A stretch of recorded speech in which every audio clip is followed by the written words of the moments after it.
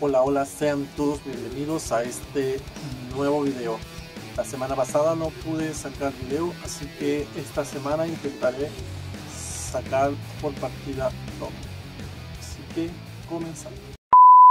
Hoy quiero hablarte un poco sobre el clima en Chile, si estás planeando venir o visitar o mudarte o como sea. Eh, lo que te recomiendo es que te informes bien cuál será la estación para el momento de tu llegada e informarte sobre este clima peculiar en Chile.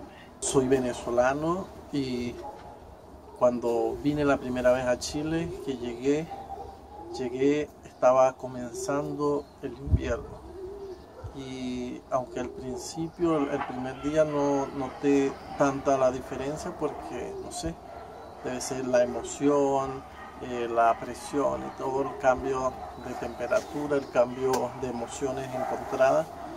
Eh, no sentí tanto el frío, pero el segundo día cuando llegué era un poco caótico. Los dedos se me congelaban. Eh, intenté usar guantes de lana, pero no sé si es algo psicológico o es algo que se da que sentía que las manos se colocaban más heladas de lo normal, de lo que, que no teniendo los guantes puestos. Ahora estamos saliendo del invierno para esta fecha en que estoy grabando el video, que hoy es 17 de septiembre y nada, por lo menos el día de hoy hubieron temperaturas hasta de 28 grados, o sea, el calor estuvo insoportable. Y mira la hora que es, son como las 6 y media, aún no ha terminado de oscurecer y ya comienza a batir mucho, mucho aire frío, mucha brisa fría y realmente para uno que ha vivido toda la vida solo con dos estaciones o solo con invierno y verano y donde las temperaturas no varían mucho. Eh, poco a poco se va uno a acostumbrar. En mi primer invierno en Chile, desde mi experiencia, solo es mi opinión que estoy dando, pensé que me iba a morir. Me acostaba en una cama helada, me arropaba con dos o tres sábanas o cubrecamas y nada, como que mientras más me arropaba, como que sentía más frío, más frío por un momento me daban como ganas hasta de llorar. Yo decía, uy, qué frío tan, tan fuerte. Pues es porque no estaba acostumbrado y no tenía la información necesaria para cómo afrontar este clima. Ya ahora he pasado mi segundo invierno, ya se está yendo, creo que ya se fue, no sé, no estoy bien informado, pero este año no pasé frío, porque compré un calientacama, una, como una sábana, una cosa que se pone, se enchufa y esto calienta, hace la función de calentar tu cama. Cuando te acuestas no sientes nada de frío. Entonces ya ahí gané una. Ya en mi forma de vestir también fue cambiando o cambió drásticamente. En Venezuela siempre andaba así con una camisa puesta, una franela, una chemise, cualquier cosa, pero siempre de una prenda. Y acá ahora en invierno me ponía la camisa de abajo, una, franela abajo, me ponía otra arriba, otra, me ponía un suéter y más arriba me ponía lo que llaman acá un polerón o una chaqueta más gruesa.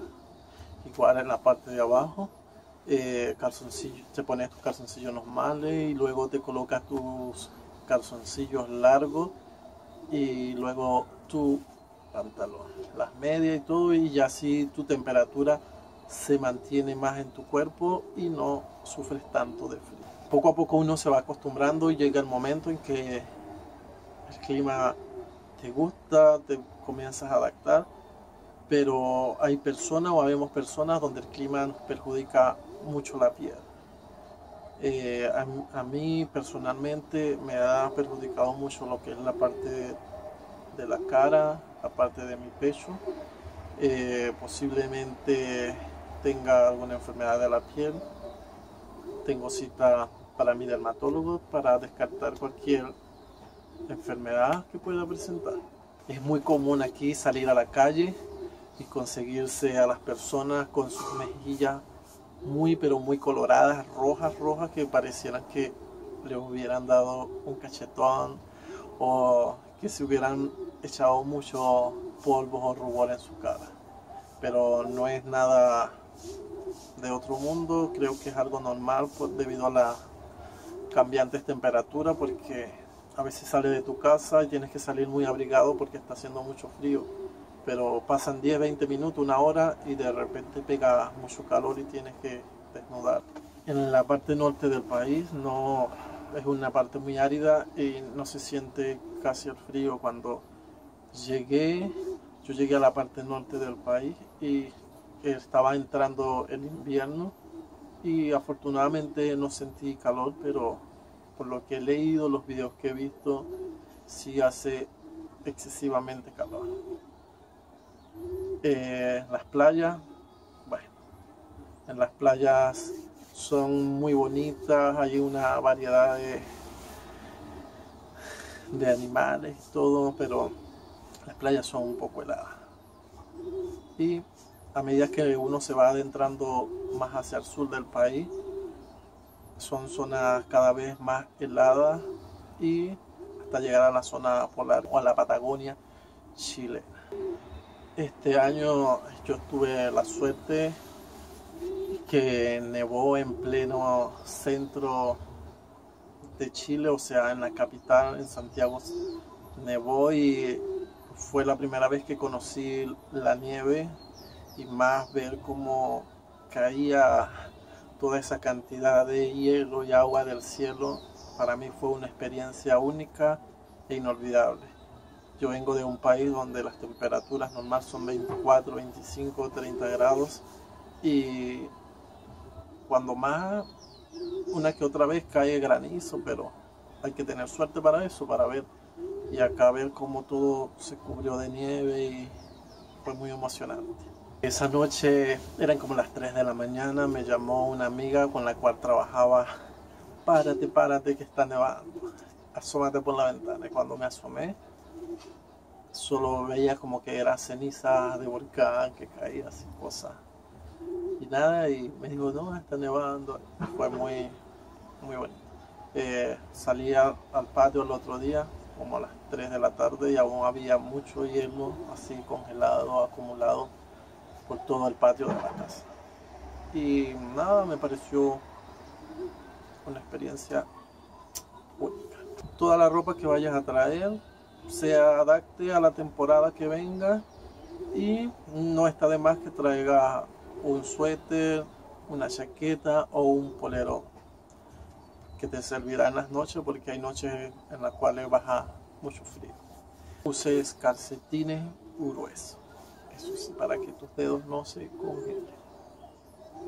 Que tomes mucha agua y que te cuides de las corrientes de frío. Cuides tu cuello, no tapes con una bufanda, un pasamontaña, un jockey, una gorra, como quieras, y así proteger tu zona de la laringe, la faringe y todo eso. Así que si planeas venir a Chile, esas son una de las recomendaciones que te doy. Primero, leer, instruirte y saber cuál será la estación del año dominante para el día en que llegues al país.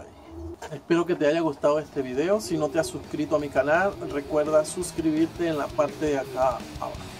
Puedes dejar tus comentarios, cualquier duda o pregunta que tenga, también puedes dejarla en la parte de acá de los comentarios. Puedes compartir este video en tus redes sociales y así transmitirle la información a tus otros amigos que estén buscando este tipo de contenido. La descripción de este video estaré dejando mis otras redes sociales para que te suscribas. Así que nos vemos en un próximo video. Bye, hasta luego.